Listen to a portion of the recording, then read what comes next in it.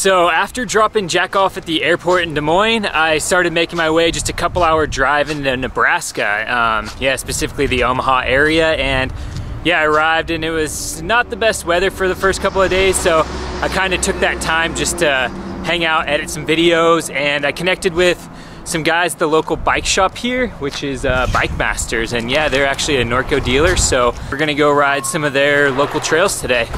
Yo. Welcome.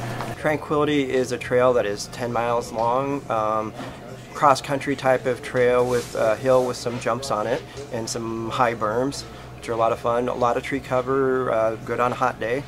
And um, it's the best maintained in our area and uh, the most used probably in our area as well. We're just gonna roll out of here and go uh, catch some of the local trails.